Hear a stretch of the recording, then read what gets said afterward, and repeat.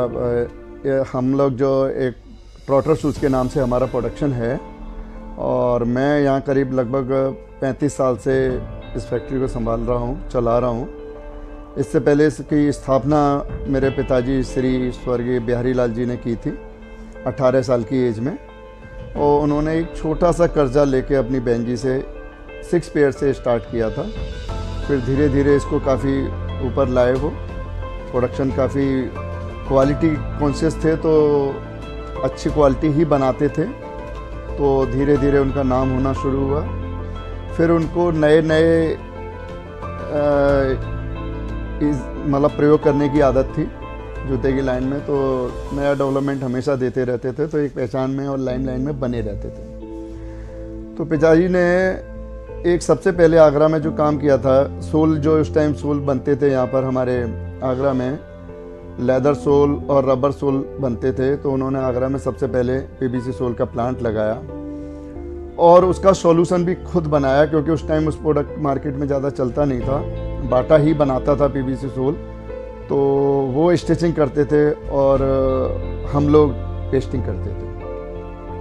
धीरे धीरे उन्होंने काफ़ी डेवलपमेंट किया लाइफ में बहुत उतार चढ़ाव आया, कई बार प्रोडक्ट में जैसे कंप्लेन आने पर बिल्कुल ही काम ख़त्म हो गया, लेकिन फिर उन्होंने धीरे धीरे स्टार्ट किया 1975 से उन्होंने अलग तरह के डेवलपमेंट शुरू किए तो एक प्रोडक्शन हमने शुरू किया था उस टाइम 75 में सोलह के नाम से, जो ऑल ओवर इंडिया में फ़ेमस था और सभी जगह सारी भारत के अंदर जाता था। उस ड्यूरेशन में काम कैरोना शू कंपनी होती थी फ्लैक्स होते थे फ्लैक्स कंपनी होती थी। इनसे काम किया बाटा से काम किया, फिर रिलैक्सो से काम किया।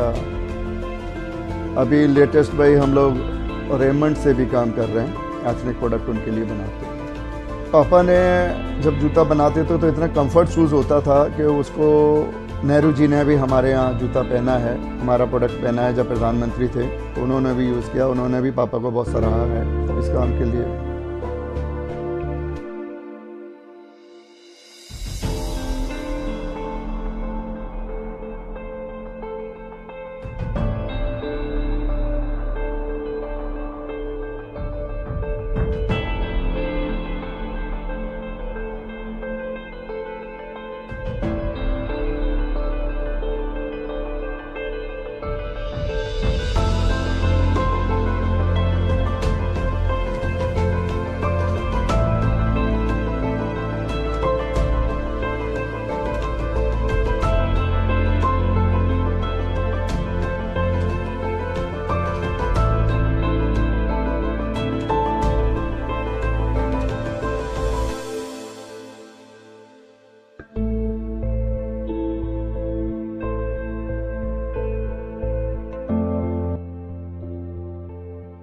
पापा जब काम करते थे तो बड़ा कंफर्ट जोन में नहीं काम होता था, बहुत मुश्किल दौर होता था, बहुत मेहनत होती थी, मशीनें नहीं थी, सारा हैंडमेड वर्क होता था, जूता बनता था, धूप में सुखाया जाता था, और बहुत सारी चीज़ें।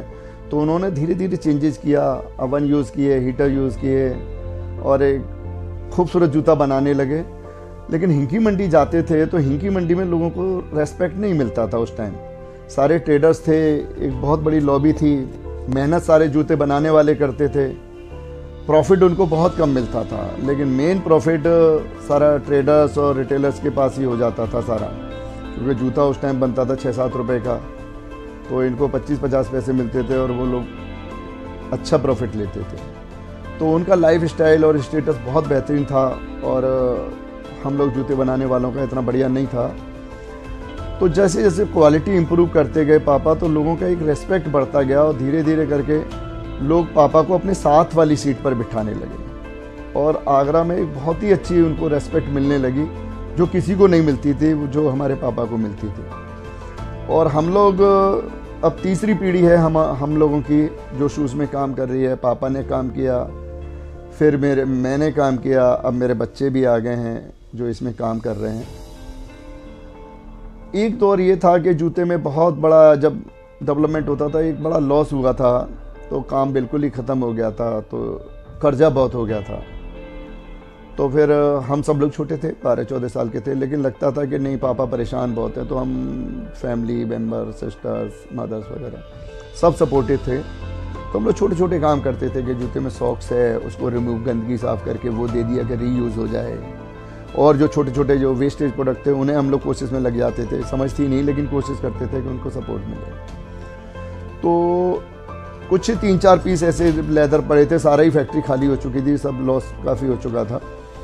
तो फिर उन्होंने, पापा ने चार छः ऐसे सैंपल्स बनाए, जो रिवर्स लेदर से बनाए उस टाइम और वो लकीली इतना मार्केट में हिट हुआ कि उसके बाद उन्होंने मुड़ के नहीं देखा।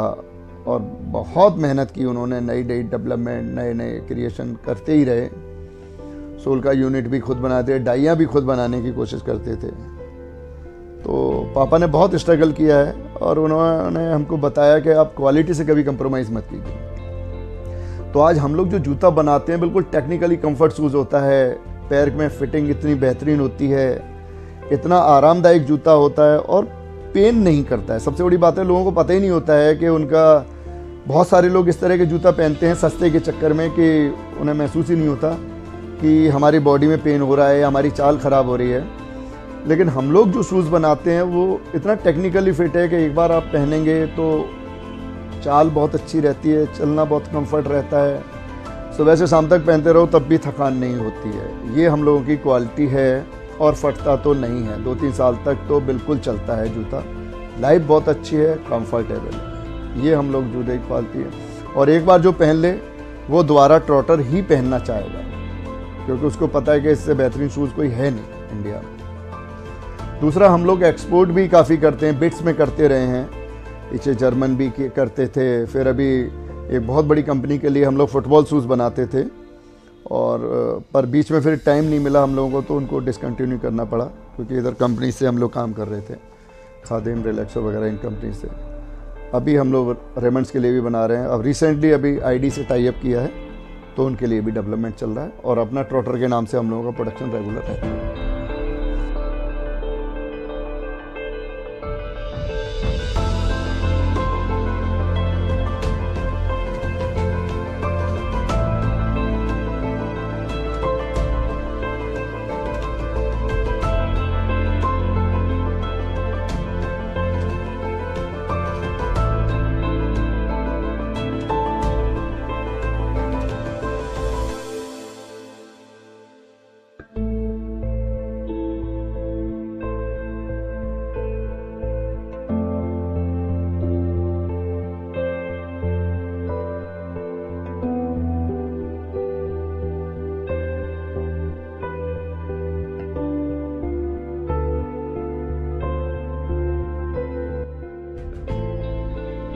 एक दौर में क्या था कि आगरा में ये जो जूते जो बिकते थे, वो डलिया में जाते थे। सारे लोग सर पे डलिया ले जाते थे। तो पिताजी ने सोचा कि कुछ बदलाव किया जाए तो उन्होंने अपना प्रोडक्ट अपने नाम से बॉक्स में देना शुरू किया, जिसका सारे ही ट्रेडर्स ने बहुत विरोध किया कि अगर आप ये बॉक्स में और अपने नाम से देंगे तो हम लोग ख़त्म हो जाएँगे, हमारा काम कम हो जाएगा। लेकिन ऐसा हुआ नहीं। उन लोगों को भी बहुत सुविधा रही कि पैक माल जाता था। गारंटी हम लोगों की होती थी। क्वालिटी कंट्रोल सारा हम लोगों का होता था। तो उधर उन लोगों का भी काम बढ़ा, हम लोगों का काम बढ़ा। दूसरा, आगरा में नए जो फैक्ट्री ओनर थे, वो काफ़ी डेवलप हो गए, क्योंकि उनको एक रेस्पेक्टिव वे में काम करने लगे और तब से हम लोगों का एक ट्रॉटर ब्रांड चल रहा है, पिछला चालीस पैंतालीस साल से, जो रजिस्टर्ड है ऑल ओवर इंडिया में चलता है। और बहुत ही मज़बूत जूता है। क्वालिटी वाइज बहुत अच्छा है, प्योर लेदर का है। हम लोग बना रहे हैं, काफ़ी लोगों की चॉइस में आ रहा है। अभी दो तीन दिन पहले आगरा में अपना अपना एक नया शोरूम स्टार्ट किया है एन एच टू पर, सुल्तानगंज पुलिया के पास, जिसमें एक्सक्लूसिव शूज़ लेदर लेदर के प्रोडक्ट हैं और टोटल का ही सारा एक्सक्लूसिव शोरूम है। तो ये हम लोग बना रहे हैं और आगरा के सबसे बेस्ट प्रोडक्शन है इंडिया की सबसे बेस्ट मटेरियल यूज़ करते हैं हम लोग।